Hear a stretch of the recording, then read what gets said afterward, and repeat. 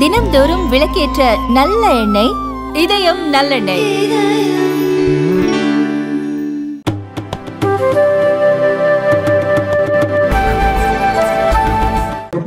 நம்மோடு கிட்டத்தட்ட ஒரு மூன்றரை மணி நேரமாக ஒன்றரை மணி நேரம் தாமதமாக இங்கே வந்திருக்கின்றோம். உங்களுடைய எழுச்சியா இல்ல நம்முடைய குழுவை நிறுத்தி உங்களுடைய அன்னை பரிமாறி பாரத பிரதமர் நரேந்திர மோடி அவர்களுக்கு உங்களுடைய நம்பிக்கையை தெரிவித்து இந்த கொடியெல்லாம் கொஞ்சம் கீழே எடுத்துக்கணும் ஆனா நம்ம பிஜேபி கொடி பார்வர்ட் பிளாக் கொடி எல்லாத்தையும் கொடி வேண்டாம். எல்லா கொடியும் சைக்கிள் கொடுப்போம் மக்கள் பார்க்க. நம்முடைய பாரத பிரதமர் நரேந்திர மோடி அவர்களுக்கு உங்களுடைய அன்பை நம்முடைய பாரத பிரதமர் நரேந்திர மோடி அவர்களுக்கு உங்களுடைய அன்பை வெளிப்படுத்தியிருக்கிறீர்கள் இரண்டு முறை இந்தியாவுடைய பிரதமராக அவரை ஆட்சி கட்டளை அமர வைத்து ஏழை எளியவருக்கு நல்ல ஒரு ஆட்சி வழங்கி மூன்றாவது முறையாக நம்முடைய பிரதமர் அவர்களுக்கு ஆட்சி கட்டளை அமர வைப்பதற்கு கோவில்பட்டியிலே நீங்கள் அனைவரும் தயாராக இருப்பதைத்தான் என் மண் என் மக்கள் யாத்திரையை நாம் காண முடிகிறது சகோதர காரணம் இந்த யாத்திரையில பங்கேற்கக்கூடிய நீங்கள் அனைவருமே சாமானிய மனிதர்கள். மோடி ஐயாவை போல ஒரு சாமானிய மனிதன் சாமானிய மனிதர்களுக்காக இந்தியாவில் ஆட்சி நடந்து கொண்டிருக்கிறார். அதுவும் கோவில்பட்டியினுடைய சிறப்பு இந்திய மனிதர் அனைவருக்குமே தெரியும் சகோதர சகோதரிகளை. முண்டாசு கவிஞர் பிறந்த ஊர் இது. யாமறிந்த மொழிகளிலே தமிழ் மொழி போல் இனிதாவது எங்கும் இல்லை என்று சொன்ன கவிஞனுடைய ஊர். அப்படிப்பட்ட ஊருக்கு வந்திருக்கின்றோம். அவருடைய புகழை பாடக்கூடிய பாரத பிரதமர் நரேந்திர மோடி அவர்களுடைய பெருமையை இங்கே பேசுவதற்காக வந்திருக்கின்றோம். இங்கே பிறந்த எட்டயபுரத்திலே பிறந்த முண்டாசு கவிஞனுக்கு பனாரஸ் இந்து பல்கலைக்கழகத்துல ஒரு இருக்கையை நிறுவி எங்கே சென்றாலும் முண்டாசு கவிஞனுடைய கவிதையை பாடக்கூடிய முண்டாசு கவிஞர் எப்படி ஒரு இந்தியனாக ஒரு ஆளுமை மிக்கக்கூடிய தலைவனாக வர வேண்டும் என்று நினைத்தாரோ அப்படிப்பட்ட நரேந்திர மோடி அவர்கள் இன்று முண்டாசு கவிஞருடைய புகழை பாடிக்கொண்டிருக்கிறார் உலக முழுவதுமே பாரதியினுடைய பெருமையை சொல்லிக் கொண்டிருக்கிறார்கள் அப்படிப்பட்ட அற்புதமான ஊருக்கு என் மண் என் மக்கள் யாத்திரை இங்கே வந்திருக்கிற சகோதர சகோதரிகள். முண்டாசு கவிஞனுடைய கனவு மிகப்பெரிய கனவு.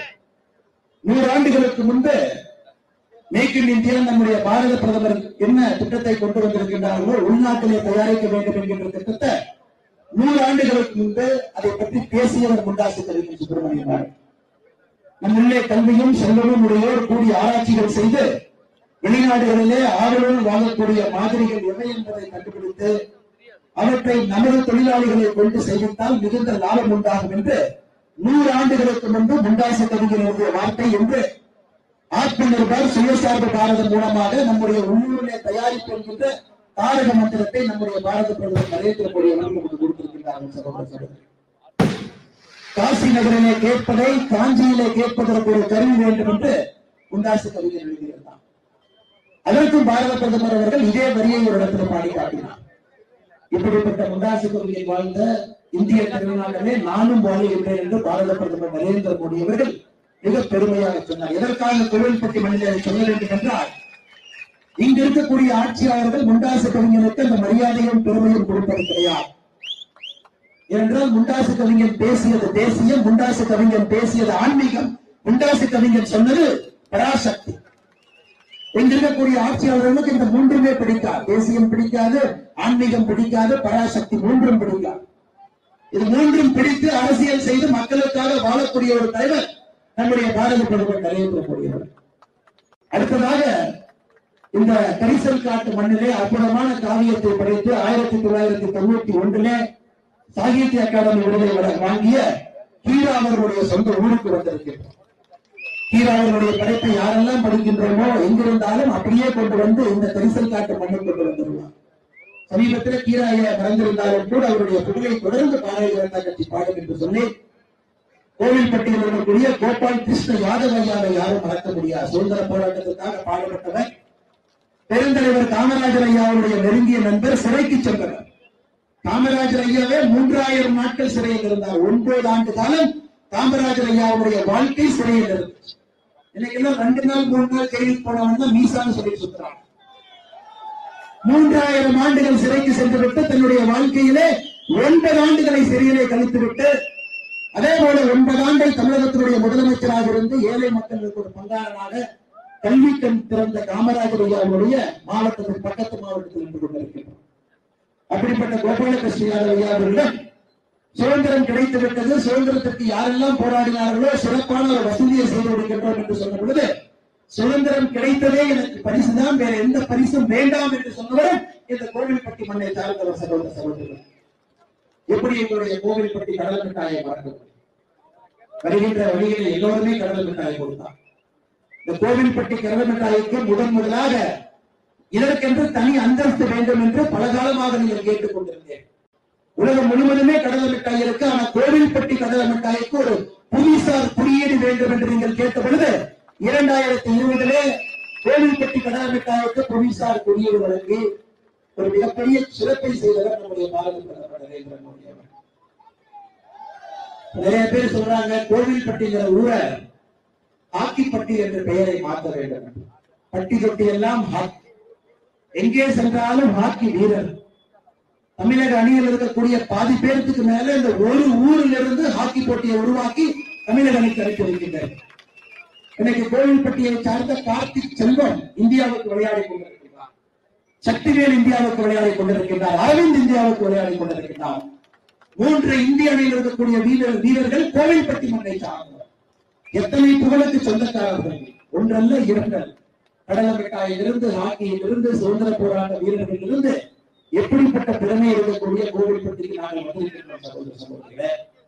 எல்லாவற்றையும் தாண்டி கோவில்பட்டி சாத்தூர் விருதுநகர் மூன்று மாவட்டத்துல மூன்று பகுதியில இந்தியாவுடைய எண்பது சதவீதம் உற்பத்தி ஆகக்கூடிய தீப்பெட்டி தொழிற்சாலை அங்கே இருக்கிறது சகோதர எண்பது சதவீத தீப்பெட்டி தொழிற்சாலை மூன்றாயிரத்தி முன்னூத்தி எண்பத்தி ஒன்பது நிறுவனங்கள் அந்த மூன்று ஊர்ல வச்சிருக்கு.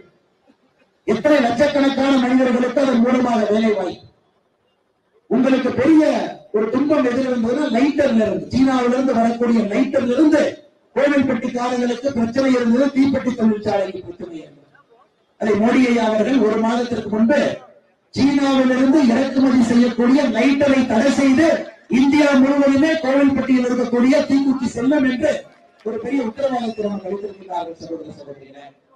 இதுல உண்மையை சொல்ல வேண்டும் என்றால் கோவில்பட்டியிலிருந்து ஆயிரத்தி தொள்ளாயிரத்தி இருபத்தி மூன்றுல வங்கா வங்காளத்துக்கு சென்று பார்த்துவிட்டு வங்காளம் தான் இந்தியாவில் முதன் முதலாக தீப்பெட்டி தொழிற்சாலை அங்கே இருந்த நூறு ஆண்டுகளுக்கு அங்கே பார்த்து அதை கற்றுக்கொண்டு இங்கே வந்து ஆயிரத்தி தொள்ளாயிரத்தி இருபத்தி அஞ்சுல இருந்து தீப்பெட்டி தொழிற்சாலை ஆரம்பிச்சு.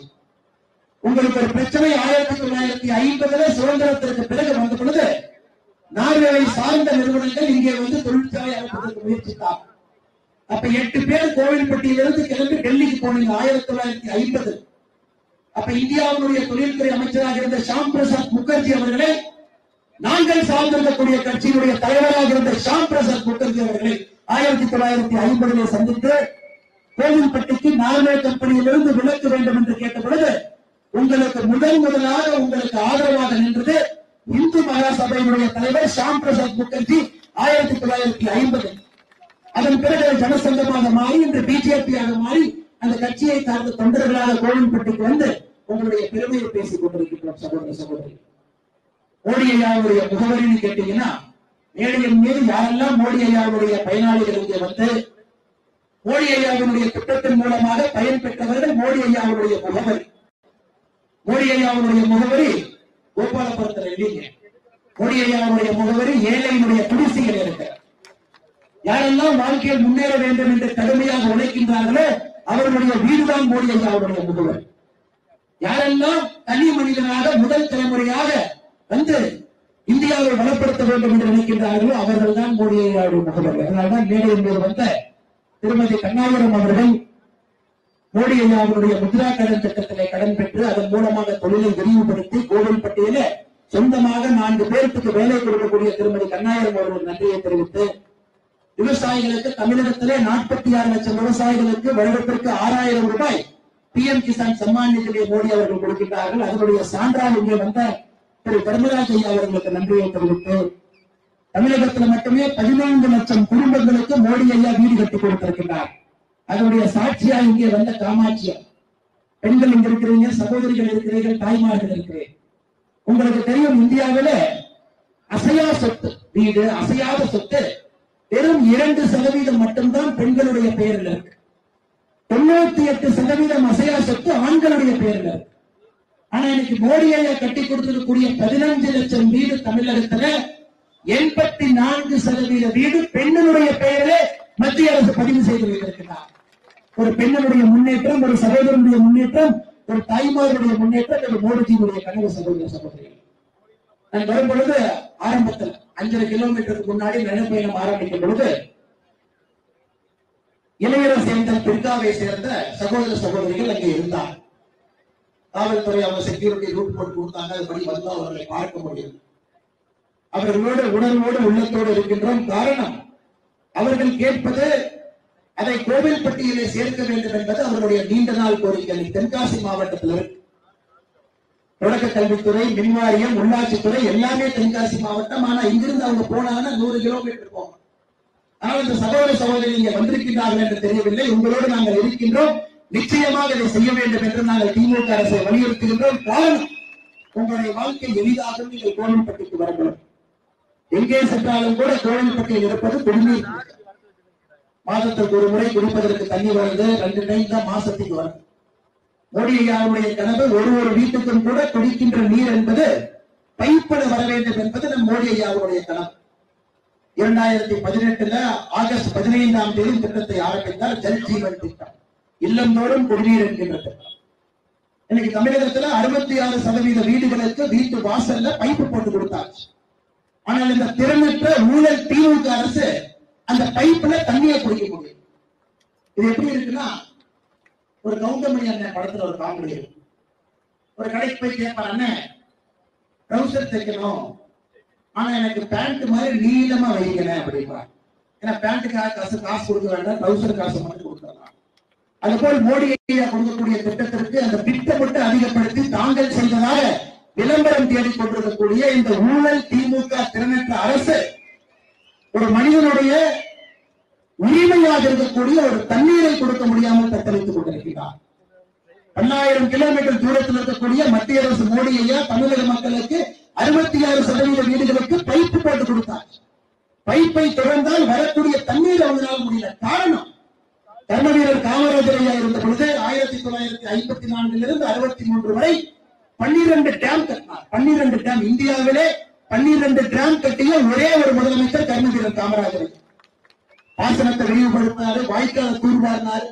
எல்லா இடத்திலையும் தண்ணி கொண்டு வரும். திராவிட முன்னேற்ற கழகத்தை பொறுத்தவரை இவர்கள் கொடி கொண்டு வருகின்ற தண்ணியின் பெயர் டாஸ்மாக். குடிக்கிற தண்ணி எங்கேயுமே இல்லை. ஆனா டாஸ்மாக்ல பீர் நிரம்பி வழி. எல்லா இடத்திலையும் டாஸ்மாக் கடைகளை திறந்து வைத்திருக்கிறார். அப்படிப்பட்ட திறனற்ற திமுக அரசு இங்க நமக்கு ஒரு கவுன்சிலர் இருக்கிறாங்க அண்ணன் விஜயகுமார் அவர்கள் இருபதாவது வார்டு. அவர்களுடைய அந்த முகநூல் அந்த சோசியல் மீடியா வீடியோவை பார்த்து எம்பியாக இருக்கக்கூடிய சகோதரி கனிமொழி கருணாநிதி அவர்கள் கீதா ஜீவன் அவங்க இருக்கும் பொழுது தன்னுடைய குடிநீர் பிரச்சனையை பற்றி பேசும் பொழுது கீதா ஜீவன் அவர்கள் பாரதிய ஜனதா கட்சியினுடைய கவுன்சிலரை நம்முடைய விஜயகுமார் அவர்களை தகாத வார்த்தையில திட்டார். ஏன்னா கீதா ஜீவனுக்கு தெரியாது. அவரெல்லாம் பணக்காரர்களுடைய செல்வ சீமந்தில பிறந்தவர். அப்பா திமுகவுடைய மாவட்ட செயலராக மந்திரியா இருந்தாங்க. கீதா ஜீவனுடைய தம்பி மேயரா இருக்கிறாங்க. கீதா ஜீவனுடைய அமைச்சரா இருக்கிறாங்க. தமிழ்நாட்டில் இருக்கக்கூடிய அரசு பள்ளிகளுக்கு போனீங்கன்னா அழுகிய முட்டையை தான் கீதா ஜீவன் போடுவான். அவர்களுக்கு ஏழை மக்களுடைய கண்ணீர் எப்பொழுதுமே தெரிவதற்கு வாய்ப்பு கிடையாது. செல்வ சீமந்தத்திலே பிறந்தவர் தங்க தட்டிலே சாப்பிடுகின்ற கீதா ஜீவனுக்கு எப்படி கோவில்பட்டியிலே அவர் இருக்கக்கூடிய மாவட்டத்துல தண்ணிக்கு கஷ்டப்படுறாங்கன்னு பாரதிய ஜனதா கட்சியினுடைய கவுன்சிலர் போய் முறையிட்ட தகாத வார்த்தைகளை திட்டுகிறார் எப்படி தெரியும்? ஒரு சாமானிய மனிதனுடைய வழி. திராவிட முன்னேற்ற கழகத்தினுடைய ஆட்சியில கோபாலபுரத்திலிருந்து கீதா ஜீவனுடைய குடும்பம் வரை உழைக்காமல் இன்னொருடைய உழைப்பை சுரண்டி பிறக்கக்கூடிய கூட்டம் அது. திமுக ஆபீஸுக்கு பாக்கெட்ல ஏதாச்சும் பணம் வச்சுட்டு போனீங்கன்னா வரும்போது பாக்கெட்டையும் காலி பண்ணி சட்டையும் பிடிச்சுதான் வெளியிடுவான் ஏன்னா உழைப்பென்று தெரியாதவர்கள் உடன் பிறப்பட்டார் எப்படி ஏழை மக்களுடைய வியர்வையும் உழைப்பும் ரத்தமும் தெரியும்? ஆனா நம்முடைய கவுன்சிலர் தண்ணி இல்லைன்னு கேட்டா நேற்று பாராளுமன்றத்துல சகோதரி கனிமொழி கருணாநிதி அவர்கள் உங்களுக்கு தண்ணி குடிக்க முடியல. தண்ணி கொடுக்க தெரியல. மோடியை கொடுத்த ஜல்ஜீவன் திட்ட பைப்பை போட்டாச்சு அதுல வரக்கூடிய தண்ணீருடைய வேலையை செய்ய வேண்டியது இந்த எம்பி கனிமொழி கருணாநிதி அவர்கள். பாராளுமன்றத்துல நேற்று சொல்றாங்க பிரதமர் அவர்கள் சிறப்பதிகாரம் படிக்க வேண்டும். பிரதமர் அவர்கள் சிறப்பதிகாரம் படிச்சா கண்ணகியினுடைய கோலத்திலே பாண்டிய மன்னனுடைய செங்கோல் வளைந்து விட்டதை பிரதமர் பார்ப்பாராம். நேத்து அவங்க பேசுறத சொல்றேன் கனிமொழி கருணாநிதி அவர்கள் பாராளுமன்றத்தில் பேசுகின்றார் நம்முடைய பாரத பிரதமர் அவர்கள் சிறப்பதிகாரத்தை படித்து கண்ணகையினுடைய கோபத்தினால் பாண்டிய மன்னனுடைய செங்கோல் எப்படி வளைந்தது என்பதை பிரதமர் புரிந்து கொள்ள வேண்டும். அதற்கு நான் ஒன்று சகோதரி கனிமொழி கருணாநிதி அவர்கள் சொல்கின்றேன் முதல்ல சகோதரி நீ பெரியார் அவர்களை படி. நீ பெரியார் பெரியார் யாரை தூக்கி படித்துக் கொண்டு தமிழகத்தில் சுத்திக் கொண்டிருக்கின்றீர்களோ பெரியார் அவர்கள் சிலப்பதிகாரத்தை பத்தி என்ன சொன்னாங்க நான் சொல்றேன் நீங்க அதை ஆயிரத்தி தொள்ளாயிரத்தி ஐம்பத்தி ஒன்று ஏழாவது மாசம் இருபத்தி ரெண்டாம் தேதி சேலத்தில் நடந்த பொதுக்கூட்டத்தில் பெரியார் அவர்கள் ஆற்றிய சொற்பொழிவை உங்களுக்கு நான் படிக்கின்றேன் கேளுங்க கோவலன் இறந்த பிறகு கண்ணகி கோபம் கொண்டு ஒரு பக்கத்து கொங்கை கொங்கை என்பது நெருப்பு. ஒரு பக்கத்து கொங்கையை திருகி எரிகிறாளாம் உடனே அது நெருப்பு கட்டியாக மாறுகிறதா? அதனால் மதுரையை தீப்பிடித்து எரிகிறதா இதை நம்ப முடியுமா? பாண்டிய மன்னன் நடந்து கொண்ட அயோக்கியத்தனத்திற்கு மதுரை மக்கள் சாம்பலாக வேண்டுமா? இதுவா கற்புக்கு யோக்கியம் சிலப்பதிகாரத்தை பற்றி பெரியார் சொல்லியிருக்காரு. அதனால தயவு செஞ்சு மோடி ஐயாவை படிப்பதற்கு முன்பு பெரியார் அவர்கள் சிலப்பதிகாரத்தை பற்றி என்ன சொல்லியிருக்காரு சகோதரி கனிமொழி கருணாநிதி அவர்கள் நீங்க படிக்க ஊழலுக்கு பிறந்தவர்கள் வெயிலுக்கு போனவங்க. டூட்டி கேஸ்ல உள்ள போனவங்க மூன்றாயிரம் கோடி பண பரிவர்த்தனை அக்கௌண்ட்ல மாத்தி உள்ள போடுங்க கலைஞர் டீம் நீங்க எல்லாம் மோடி ஐயாவுடைய காலில் இருக்கக்கூடிய மிகத்தினுடைய தூசிக்கு சமம் கிடையாது. ஏதோ கருணாநிதி என்கின்ற பெயர் காரணத்தினால மக்கள் போட்ட பிச்சையில எம்பி ஆனவர்லாம் பாரத பிரதமர் நரேந்திர மோடி அவர்களை பாராளுமன்றத்தில் பேசுகின்றனர். ஒரு பிரதமரை பற்றி பேசுவதற்கு எந்த தகுதியும் கிடையாது. ஊழல் என்பது கடுகளம் இல்லாமல் ஒரு ஒரு நாளும் சாமானிய மனிதனுக்காக வேலை செய்யக்கூடிய பிரதமர் எதை படிக்க வேண்டும் என்பது அவருக்கு தெரியும். அதனால்தான் திருக்குறளை படிக்கிறார். அதனால்தான் தனியன் பூங்குடனாரை படிக்கிறார். அதனால்தான் சிலப்பதிகாரத்தையும் படிக்கிறார். மக்களுக்கு சொல்லுகிறார் இவங்க கட்சி நடத்துற லட்சணம். பாராளுமன்றத்தில் இருந்து திமுக பேசும் பொழுது நம்முடைய நிதியமைச்சர் தமிழச்சி நிர்மலா சீதாராமன் அவர்கள் சொன்னார்கள். ஆயிரத்தி தொள்ளாயிரத்தி எண்பத்தி ஒன்பதுல புரட்சி தலைவி ஜெயலலிதா அம்மாவை அசம்பிளியில நீங்க என்ன பண்ணீங்கன்னு நாட்டு மக்களுக்கு தெரியும். இன்னைக்கு ரொம்ப நடிக்காதீங்களா நல்லவங்க மாதிரி நடிக்காது. ரெண்டாயிரத்தி இருபத்தி மூணுல ஒட்டுமொத்த திமுக கூடாரும் தயவு செஞ்சு நல்லவன போட்டு நடிக்காது அன்னைக்கு துரைமுருகன் அவர்கள் புரட்சி தலைவர் ஜெயலலிதா அம்மாவை பத்தி என்ன சொன்னாங்கன்னு சின்ன குழந்தைக்கு இன்னைக்கு வந்து நீங்க பெண்களுடைய மரியாதையை பத்தி நீங்க பேசுங்க இந்தியாவுல பெண்களுடைய மரியாதையை பத்தி யாராவது பேச வேண்டும் என்றால் கடைசியா பேசுற நாய்க்கு யாருக்கு திமுக காரர்கள் அப்படிப்பட்டவர்கள் நீங்க இன்னைக்கு பாராளுமன்றத்துல பெண்களுடைய உரிமையை பத்தி பேசிக் கொண்டிருக்கிறேன். சகோதரி கனிமொழி கருணாநிதி அவர்களை பாராளுமன்றத்துல போய் இதெல்லாம் பேசுவதற்கு முன்பு உங்களுடைய சொந்த தொகுதியிலே குடிப்பதற்கு தயவு செய்து குடிதம் ஏற்படும் மோடி பைப்பு கொண்டு கொடுத்துட்டார். அதுக்கும் மோடி ஐயா தான் குடிநீரும் கொடுக்க வேண்டும் என்றால் மோடி ஐயாவை கூட்டிட்டு வந்து அது உங்களுடைய ஆட்சி அதிகாரத்திற்கு கீழே வரும் அது மோடி ஐயா அதையும் செய்வார். வந்து டேமம் வருவேன் நீங்க என்ன சொல்றீங்க? மாநில சுயாட்சி ஐயோ எங்களுடைய உரிமை. வாட்டர் இரிகேஷன் மைனர் இரிகேஷன் மாநில உரிமை சுயாட்சி. அரசியலமைப்பு சட்டத்திலே மாநில அரசு கொடுக்கப்பட்டிருக்கிறது. மோடி ஐயா எப்படி டேம் கட்டினார் அதனால் உங்களால் குடிக்க முடியவில்லை என்றால் கொடுக்க முடியவில்லை என்றால் சொல்லிவிடுங்கள். மோடி அவன் கூட்டிட்டு வந்து டேமை நாங்களே கட்டி தண்ணியை நாங்களே கொடுக்கும் தயவு செஞ்சு மாநில சுயாட்சியை பத்தி பேசணும் நேற்று நம்முடைய பாரத பிரதமர் அவர்கள் பேசினார்கள் பாராளுமன்றத்துல. எனக்கு மு க ஸ்டாலின் அவர்கள் அப்பப்ப கடிதம் எழுதுறார் கச்சத்தீவு மீட்டு கொடு கச்சத்தீவு மீட்டு அதுக்கு நம்முடைய பாரத பிரதமர் அவர்கள் சொன்னார் சில நண்பர்களுக்கு புரிவதில்லை கச்சத்தீவை கொடுத்ததே உங்க அப்பா தான் புரிய மாட்டேங்குது பையன் இன்னைக்கு எனக்கு உட்கார்ந்து இங்கு பேனால் எழுதி கச்சத்தீவை மீட்க வேண்டும் என்று சொல்வதற்கு தமிழகத்திலே ஒரு அரசியல் கட்சிக்கு உரிமை இருக்கிறது என்றால் அது பாரதிய ஜனதா கட்சிக்கு மட்டும்தான் அந்த உரிமை கச்சத்தீவை எப்படி கொண்டு வருவது என்று எங்களுக்கு தெரியும். தயவு செஞ்சு நீங்க பாராளுமன்றத்துல ரொம்ப நடிக்காதீங்க திமுக காரங்களே ரொம்ப நடிக்காதீங்க. சாயம் கொடுத்து விட்டது. இந்திய அளவில் உங்களை பார்த்து கொண்டிருக்கிறார் நீங்கள் செய்யக்கூடிய தவறுகள் எல்லாம் செய்துவிட்டு பாராளுமன்றத்திலே நல்லவர்களை போல் வேஷம் போடுவது மக்களுக்கு எந்தவித வேலையும் செய்யாமல் பாராளுமன்றத்துல காந்தி அவருடைய சிலைக்கு வெளியில் உட்கார்ந்து ஆர்ப்பாட்டம் செய்வது மட்டுமே முழுநேர கொள்கையாக தமிழகத்தில் இருக்கக்கூடிய எம்பிக்கள் இருக்கிறார் காந்தி ஐயா உயிரோடு இருந்து அவரை அவரே தொட்டு விட்டுருப்பார் இன்னைக்கு அவர் உயிரோடு இல்லாதனால இந்த காட்சியை தான் பார்க்க வேண்டிய துரதிருஷ்டம் மகாத்மா காந்தி ஐயா இன்னைக்கு தமிழகத்தை முதன்மை மாநிலமாக மாற்றுகின்றேன் முதன்மை மாநிலமாக மாற்றுகின்றேன் படங்கள் முத்துராமலிங்க தேவரையா நம்முடைய கடவுள் நேரடியா நம்மளை பார்த்துட்டு இருக்காங்க வரும் பொழுது வீரன் அழகுமுத்துக்கோன் ஐயா அவர்களுக்கு மரியாதை செலுத்தி காட்டாளபுரத்திலே அவருக்கு தபால் தலையை வெளியிட்டவர் நம்முடைய பாரத பிரதமர் நரேந்திர மோடி அவர் வீரன் சுந்தரலிங்கன் ஐயா அவர்களுக்கு மரியாதை செலுத்தி வீரனுடைய கட்டபொம்மன் ஐயா அவர்களுக்கு மரியாதை செலுத்தி தேவரையா அவர்களுக்கு மரியாதை செலுத்தி இங்கே வந்திருக்கின்றோம் எல்லாரும் நம்முடைய பெரியவங்க எல்லாம் பார்த்துட்டு இருக்காங்க. ஆனால் இவர்கள் வாழ்ந்த மண்ணிலே இன்னைக்கு திமுக ஆட்சி செய்வது என்பது கேவலத்திலும் கேவலம் இந்த மகான்கள் வாழ்ந்த மண்ணிலே திமுக இன்று ஆட்சி செய்கிறது நம்பர் ஒன் மாநிலமாக மாற்றுகின்றேன் மாற்றுகின்றேன் எதிரியா மாற்றி வச்சிருக்கிறீங்க. குடிப்பதிலே நம்பர் ஒன் மாநிலம் கடன் வாங்குவதிலே நம்பர் வெக்கமாக இல்லையா முதலமைச்சர் மு க ஸ்டாலின் அவர்களே உங்களுக்கு ஏழு ஏழு லட்சத்தி ஐம்பத்தி மூன்றாயிரம் கோடி தமிழகத்தினுடைய கடன் இந்தியாவுடைய கடன் வாங்கிய மாநிலத்திலே முதல் ஆளாக நாம் இருக்கின்றோம்.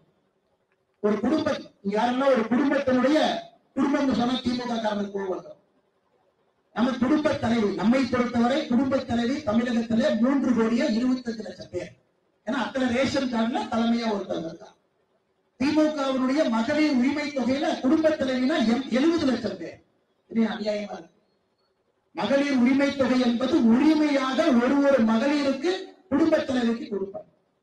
மூன்று கோடியே இருபத்தஞ்சு லட்சம் இங்கிறதுக்கு இருக்கு எழுபது லட்சம் இங்க இருக்கு. அதனால குடும்ப தலைவியை பத்தி சொன்னீங்கன்னா நாம எல்லாம் ஒருவனை கொடுத்து என்று வாழ்பவர்கள் நமக்கு தெரியும் குடும்ப தலைவி யாருன்னு. அவங்க தெரியாது.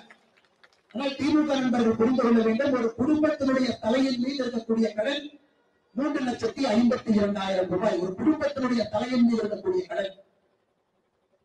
தமிழகத்தினுடைய மொத்த கடன் ஏழு லட்சத்தி ஐம்பத்தி மூன்றாயிரம் கோடி. இந்த இளைஞர்கள் வருகின்ற வழியில பெட்டிஷன் நம்ம கொடுக்கிற எல்லா பெட்டிஷனும் வேலை வாய்ப்பு வேலை வாய்ப்பு வேலை வாய்ப்பு டாஸ்மாக் மூடுங்க டாஸ்மாக் மூடுங்க டாஸ்மாக் மூடுங்க. தர்மவீரர் காமராஜர் ஐயா அவர்களும் மோடி அவர்களும் என்ன சொன்னாங்கன்னா படி படி படி என்றார். ஸ்டாலின் அவர்கள் என்ன சொல்றாருன்னா குடி குடி குடி என்று சொல்றார். இந்த ரெண்டு தலைவர்களுக்கு இதான் வித்தியாசம். தர்மவீரர் காமராஜர் ஐயா மூடப்பட்ட ஆறாயிரம் பள்ளிகளை திறந்தார் புதிதாக பன்னிரெண்டாயிரம் பள்ளிகளை திறந்தார். அதாவது ஆயிரத்தி தொள்ளாயிரத்தி ஐம்பத்தி நான்கிலிருந்து அறுபத்தி மூன்று வரை தமிழகத்திலே பதினெட்டாயிரம் பள்ளிகள் திறக்கப்பட்டது. பதினெட்டாயிரம் பள்ளி ஒன்பது வருஷம் அதனாலதான் கர்மவீரர் காமராஜர் ஐயாவை கல்வி கற்கிற திறந்த காமராஜர் என்று சொல்கிறோம் மோடி ஐயா பீரியட்ல பதினோரு மருத்துவக் கல்லூரி தமிழகத்திற்கு ஐஐடி அதிகப்படுத்தணும் ஐஐடி அதிகப்படுத்தணும் பல்கலைக்கழகத்தை அதிகப்படுத்தணும். ஐம்பத்தி நான்காயிரம் இருந்த மெடிக்கல் சீட்டை தமிழகத்துல ஒரு லட்சத்தி ஆறாயிரம் சீட்டு பண்ணி எப்படி கர்ம வீரர் காமராஜர் ஐயா ஆரம்ப கல்விக்கு முக்கியத்துவம் கொடுத்தாரோ நம்முடைய மோடி ஐயா அவர்கள் உயர்கல்விக்கு முக்கியத்துவம் கொடுக்கிறார் ரெண்டு பேரும் பார்த்தீங்கன்னா ஒரே ரத்தம் ஒரே மண் ஒரே சதை ஒரே நாடி ஒரே நரம் அதனால்தான் படி படி படி என்கிறார் முதலமைச்சர் குடி குடி குடி அதில் முத்துசாமி என்ன? முத்துசாமி என்ன சொல்றாரு? குடிகாரன் மட்டும் சொன்னீங்கன்னா கோபம் மதுப்பிரியர் என்று சொன்னார். இந்த காவல்துறை நண்பர்கள் இருந்து பார்த்துட்டு இன்னைக்கு டாஸ்மாக் இருப்பதற்கு சட்டம் ஒழுங்கு சந்தி சிரித்துக் கொண்டிருக்கிறது. இன்னைக்கு முத்துசாமி என்ன சொல்றாருன்னா அந்த நூத்தி ஐம்பது எம்எல் குவார்டர் பாட்டில் வாங்குறதுக்கு ஒரு மதுப்பிரியர் போய் கட்டிங் போடுறதுக்கு அரை மணி நேரம் காத்து தமிழகத்திற்கு அது மிகப்பெரிய வருவாய் இழப்பு ஏற்பட்டு அதனால் நாங்களே அந்த நூத்தி எண்பது எம்எல்ஏ சாசே பாக்கெட் போட்டு தொண்ணூறு எம்எல் தொண்ணூறு எம்எல்ஏ வித்தோம். இந்த ஜிக் ஷாம்பு மாதிரி டாஸ்மாக் கடையில ஒரு கயிறு கட்டி தொங்குறோம் அந்த சாசே பாக்கெட்டை நீங்க போய் உருவிக்கிட்டு பாக்கெட்ல போட்டீங்கன்னா எவ்வளவு சூப்பர் அப்படி. நீங்க இன்னைக்கு ஐயாயிரத்தி ஐநூறு டாஸ்மாக் கடை திறந்ததற்கே தமிழகத்திலே சட்ட ஒழுங்கு சந்தி தெரிவித்துக் கொண்டிருக்கிறது.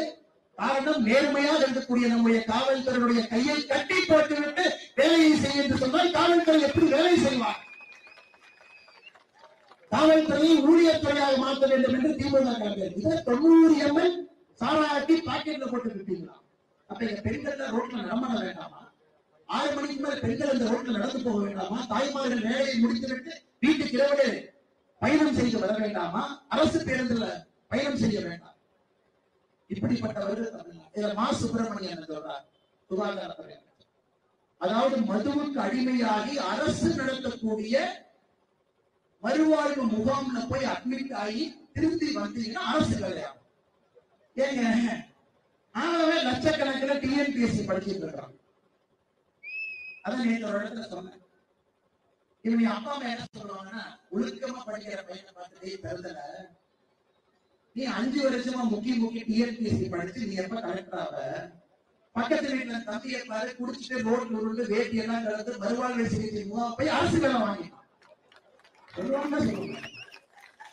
சொல்லுவாங்க இப்படிப்பட்ட அமைச்சர்கள் எல்லாம் எந்த பதவிக்கும் லாயக்கில்லாதவர்கள் தமிழகத்திலே சுகாதாரத்துறை அமைச்சர். அதனாலதான் ஒன்றரை வயசு குழந்தைக்கு கை வெட்டப்பட்டு சிகிச்சையில அந்த குழந்தை இறக்கு பிரியாவை போன்ற கால்பந்தாட்ட வீராங்களே அரசு மருத்துவமனையில ஓமந்தூரால் அட்மிட் ஆகி அந்த பாப்பா இறக்கு விழுப்புரத்துல ஒரு வாரத்துக்கு முன்பு அரசு மருத்துவமனையில பெட் இல்லாதனால ஒரு அம்மாக்கு டெலிவரி காரிடார்ல நடந்துச்சு.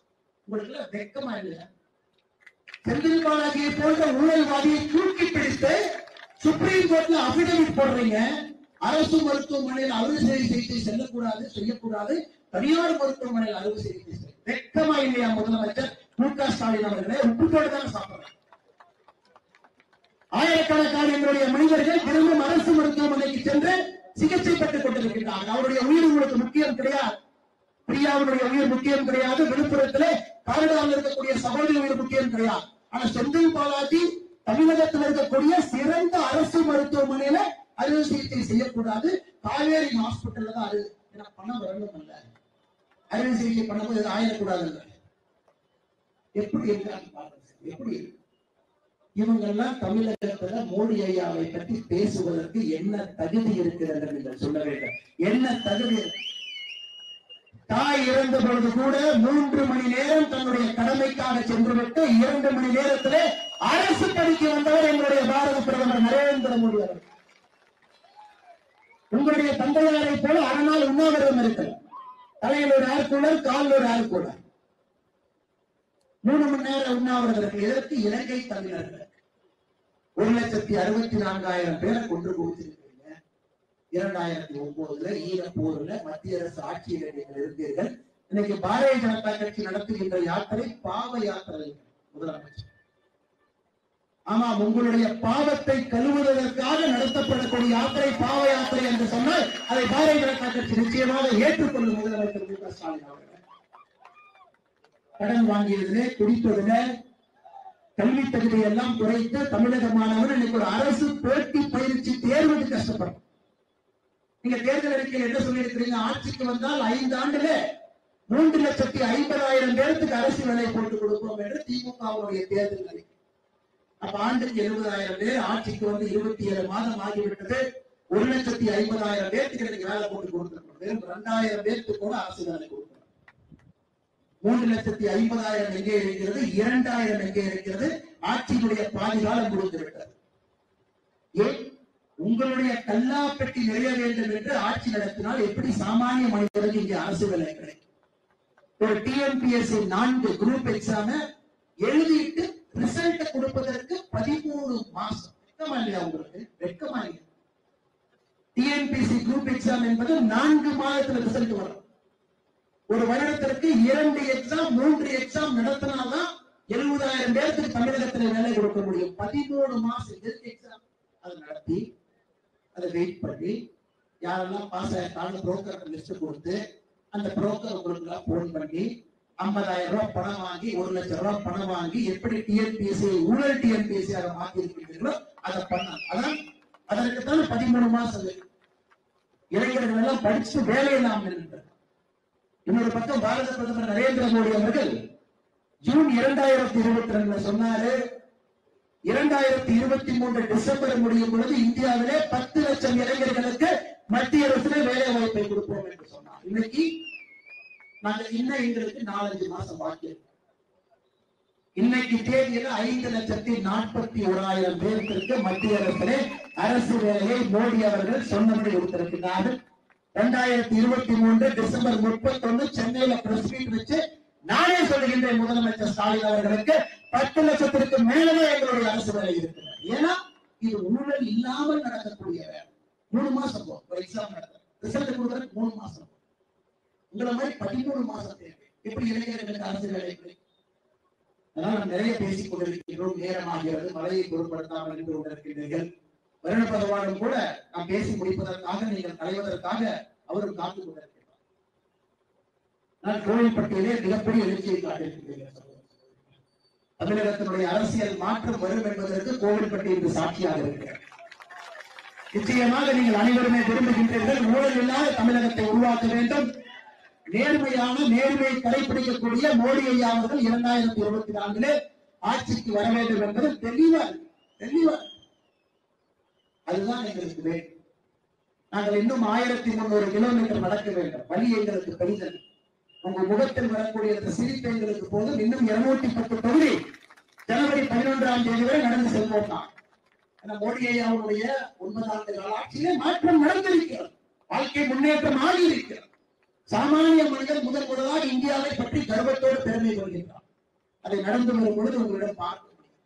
அந்த ஒரு மகிழ்ச்சி எங்களுக்கு போகும். எப்படிப்பட்ட சோழ்வு இருந்தாலும் கூட மறுபடியும் காலையிலே இருந்து மறுபடியும் எங்களுடைய பயணத்தை தொடங்கி மறுபடியும் மக்களை சந்தித்துக் கொண்டு செல்கிறோம் உங்களிடம் அன்பாக நாங்கள் வைக்கக்கூடிய ஒரே ஒரு கோரிக்கை இரண்டாயிரத்தி இருபத்தி நான்கு முக்கியமானது ஊழல்வாதிகளுக்கும் சாமானிய மனிதனுக்கும் நடக்கூடிய தேர்வு.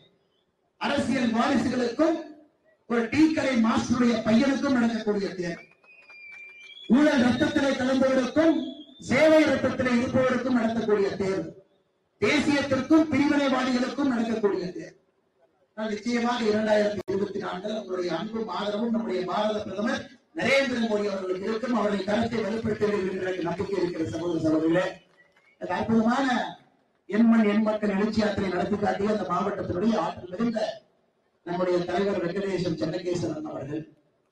அவருடைய தந்தையாரை பற்றி தெரியாதவர்கள் கோவில்பட்டியலே இந்த மாவட்டத்தில் இருக்க முடியாது. ஐந்து ரூபாய் டாக்டர் என்ற பெயர் எடுத்தவர். ஏழை மக்களுடைய பங்காளராக இருந்த அவருடைய புதல்வன் இன்று பாரதிய ஜனதா கட்சியுடைய மாவட்ட தலைவராக இருப்பது ஒரு ஒரு தொண்டனுக்கும் என்று பெருமையை நாங்கள் அடைகின்றோம் நம்முடைய சட்டமன்றத்திலே சிங்கமான கற்பித்து தனது நீண்ட நெடிய அரசியல் அனுபவத்தை பாரதிய ஜனதா கட்சியுடைய வளர்ச்சிக்காக பயன்படுத்தக்கூடிய முன்னாள் அமைச்சர் பலமுறை எம்எல்ஏ இப்ப இருக்கக்கூடிய பாரதிய ஜனதா கட்சியினுடைய தூண் திருநெல்வேலியினுடைய எம்எல்ஏ சட்டப்பேரவை பாரதிய ஜனதா கட்சியுடைய குழு தலைவர் அண்ணன் மணிமார் நாகேந்திரன் அவர்களே இந்த பகுதியினுடைய பெருங்கோட்ட பொறுப்பாளராக ஆற்று முழுக்க நம்முடைய தலைவர் மக்களோடு மக்களாக இருக்கக்கூடிய அண்ணன் பொன்பி பாலகுருபதி அவர்களே முன்னாள் மாவட்ட தலைவர் அண்ணன் ராமமூர்த்தி அவர்களே அரசியலே தனக்கென்று ஒரு பாணி அதிரடி அரசியலே பெயர் வாங்கி தன்னுடைய அரசியல் அனுபவத்தை பாரதிய ஜனதா கட்சியுடைய வளர்ச்சிக்காக பாடுபடக்கூடிய முன்னாள் எம்பி அக்கா சசிகலா புஷ்பா அவர்களே அருமை சகோதரர் மாரிச்செல்வம் அவர்களே சிவந்தி நாராயணன் அவர்களே சௌமியா தினேஷ் அவர்களே வேல்ராஜ் அவர்களே கே கே ஆர் கணேஷ் அவர்களே பாலமுருகன் அவர்களே ராஜ்குமார் அவர்களே ராஜேந்திரன் அவர்களே பாலமுருகன் அவர்களே லிங்கேஸ்வரி அவர்களே கவிதா அவர்களே ஸ்ரீனிவாசன் அவர்களே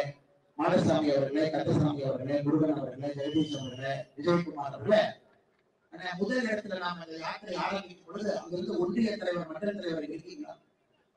கந்தசாமி அண்ணன் இருக்கீங்களா? கந்தசாமி என்ன நம்முடைய கட்சியில ஒரு ஆற்றல் மிகுந்த செயல்கிறார் மிக வேகமாக அரசியல் செய்பவர். பாரதிய ஜனதா கட்சியில இவரெல்லாம் தொண்டராக இருப்பது இங்க இருக்கக்கூடிய எல்லா தலைவர்களுக்கும் எங்களுக்கு பெருமை. ஆனால் கண்டிப்பா கந்தசாமி அண்ணனும் கோபப்படாம புரிஞ்சுக்குவாங்க. யாத்திரை என்பது வேகமாக நடத்தப்பட வேண்டும். கந்தசாமியில நமக்காக ஒரு பெரிய வரவேற்பு ஏற்பாடெல்லாம் செய்து வைத்திருக்கார் அந்த வரவேற்பை எங்களால் ஏற்றுக்கொள்ள முடியவில்லை என்று கந்தசாமி அண்ணன் கோபம். அண்ணன் தம்பிகளுக்குள்ள கட்சிக்குள்ள எப்பொழுதுமே கோபம் இருக்கக்கூடாது. எல்லோருமே எல்லாருமே அண்ணன் தம்பிகள் நாம் உழைப்பது மக்களுக்காக. பாரதிய ஜனதா கட்சி வர வேண்டும் என்று கந்தசாமி அவர்கள் நிச்சயமாக வருகின்ற காலத்தில் ஒரு மிகப்பெரிய பொறுப்புக்கு வருவார்கள். மிக நன்றாக வேலை செய்யக்கூடிய கந்தசாமி அண்ணன் உங்களுடைய வரவேற்பு ஏற்க முடியும் என்பதை வருத்துகின்றேன் அதற்காக மன்னிப்பு உங்களிடம் கூறி இங்க வந்திருக்கக்கூடிய நம்முடைய தொண்டர்கள் தலைவர்கள் அனைவருக்கும் இந்த நேரத்தில் நன்றி வாழ்த்துக்கள் வணக்கங்களை தெரிவித்து அடுத்த முறை நான் வரும் பொழுது அண்ணன் கந்தசாமி நான் இல்லத்திலே உணவு அருந்துவேன் என்கின்ற உறுதியை கூறி இங்க வந்திருக்கக்கூடிய பத்திரிகை சகோதரர்கள் பாரதிய ஜனதா கட்சியுடைய யாத்திரைக்கு மிகப்பெரிய அளவிலே ஆதரவை கொடுத்துக் கொண்டிருக்கக்கூடிய நம்முடைய பத்திரிகை சகோதரர்கள் எங்களோட கடினமான இந்த பயணத்தை நீங்கள் இருக்கின்றீர்கள் அதனால இது உங்களுக்கு எவ்வளவு நன்றியை சொன்னாலும் கூட அது போடாது நேரடியாக காட்டக்கூடிய தொலைக்காட்சி நிறுவனங்கள் செய்தியை சேகரித்து செய்தித்தாளிலே சரியான முறையில தெரியப்படுத்தக்கூடிய சகோதர சகோதரிகள் அனைவருக்குமே தலை வணங்கி உங்களுடைய பாதத்தை தொட்டு வணங்கி பாரதிய ஜனதா கட்சியினுடைய நன்றிகளை தெரிவித்துக் கொள்கின்றேன். அனைவருக்கும் நன்றி வணக்கம். பாரத் மாதா கே பாரத் மாதா கே பாரதமையின் புகழ்.